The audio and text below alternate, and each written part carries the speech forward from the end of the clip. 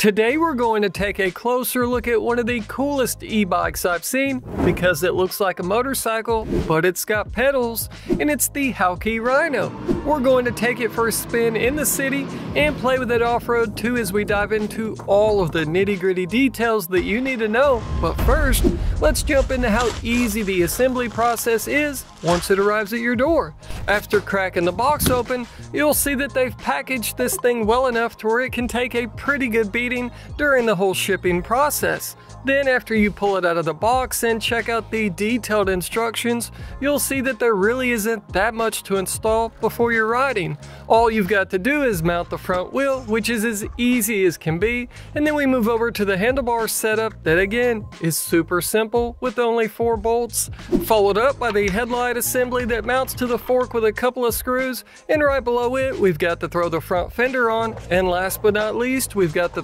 on the pedals before we crank them down, and then you're ready to ride. Now that we've got her assembled and ready to rip, let's dive into some of the details and specs on this bike before we get into my thoughts on what it's like to ride it. First off, we've got the bike's frame, which doesn't have a party trick up its sleeve when it comes to folding, like some of the other electric bikes we've reviewed, but this one makes up for it in other areas and in cool points too. It's made from 6061 aluminum to try and help keep the weight down, but she does tip the scales at 83 pounds, so she's not the lightest in the world, but it does have one of the highest weight capacities out of the bikes I've covered at 400 pounds. And when it comes to the seat height, you're looking at about 32 inches, but the real beauty here is that you don't have the typical bicycle seat to bring you discomfort, but you've got this nice and long seat so you can slide around to find the position that's most comfortable for you. And speaking of comfort, let's move over to what's attached to the front of that frame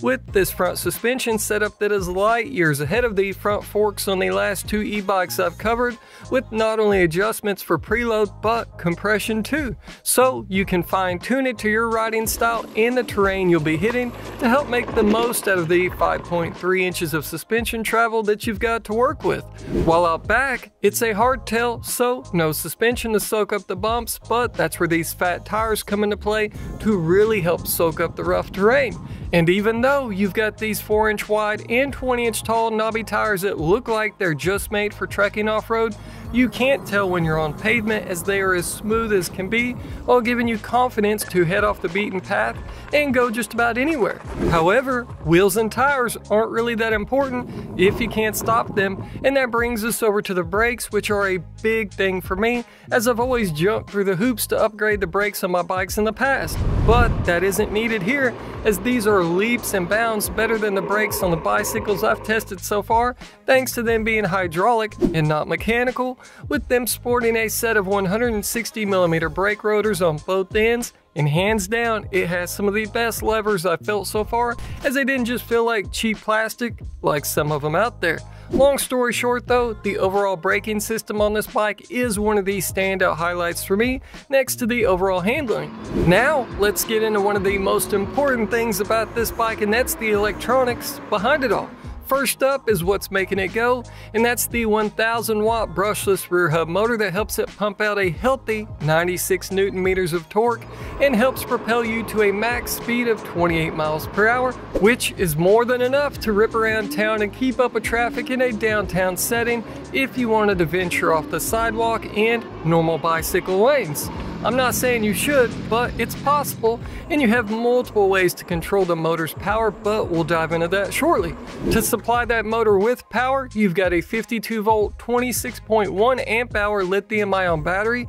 that can be left on the bike to charge or removed by simply turning your key to unlock and giving it a gentle nudge forward before you lift it off and that battery paired up with this motor gives you an estimated range of 60 to 90 miles, depending on how much pedal assist you're using, but again, we'll dive more into that shortly. So now that we've got the battery and motor out of the way, we need to talk about what's working with them to drive the wheels we talked about earlier, and that brings us over to the handlebars with this 27 and a half inch wide and 32 millimeter thick bar setup. And those bars paired up with the overall seating position really make this thing feel like a motorcycle instead of your normal bicycle, which is a huge bonus for me as I ride a lot more motorcycles than I do bicycles. On those bars, you can easily control the Shimano 7-speed derailleur by your right hand, and so far this setup has been extremely smooth in its operation, whether I'm playing on the pavement or off-road, and keep in mind, picking the proper gear, just like in a car, can affect your overall range significantly. And speaking of range, you may have noticed that the right grip looks a little different from the left. Well, unlike some e-bikes with a thumb throttle, this bike has a twist throttle. So if you're in the mood to be a little lazy and don't want to pedal, just roll the throttle back like a motorcycle and you're off. Now, we've got to have a way to control the motor on this electric bicycle and that's where the display comes into play. Where you've got a 4-inch LCD display that helps you keep tabs on all of the information you need to know with a speedometer, odometer, trip meter, pedal assist levels, and so on. Now, you may be asking, pedal assist modes? What are those? Well, you've got an option to just pedal the bike if you like, like a normal bicycle, but why would I do that? And for those that would like some assistance from the electric motor, you've got pedal assist modes 1 through 5 and with each bump up, it steadily increases how much it assists you while pedaling and the overall speeds you're going to hit, even if you're not pedaling the bike, and here's what you can expect when it comes to speeds out of each mode.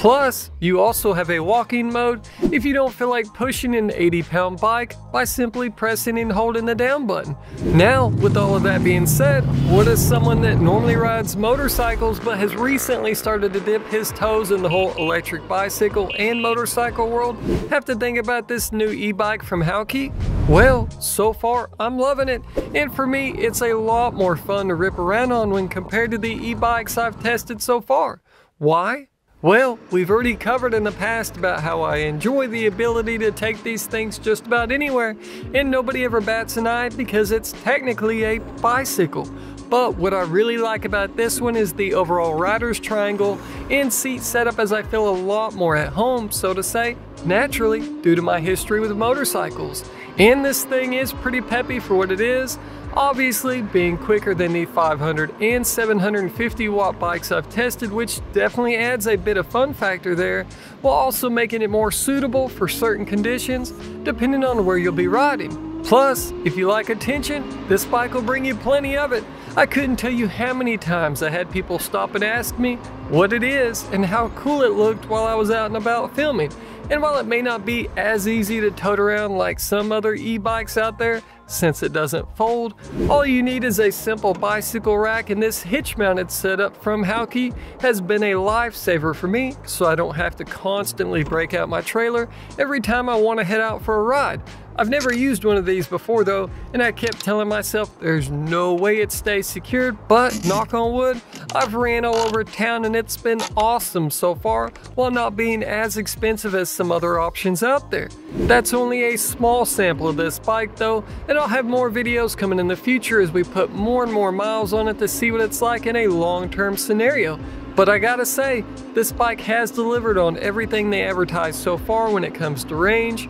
charge times, and so on with no issues to date. Again, knock on wood. And if you're interested in more information and or possibly purchasing one of these, I'll have links below and they do help support what I'm doing here on the channel at no extra cost to you, so please check them out. That's enough rambling from me though. What do you guys think about this bike? These videos aren't just for me to ramble on, so let's talk about it all down in the comments section and if you've got any questions, just let me know. And on that note, thanks for watching and a big thank you to our channel members and Patreons for helping to keep this train chugging along and we'll see you guys in the next one.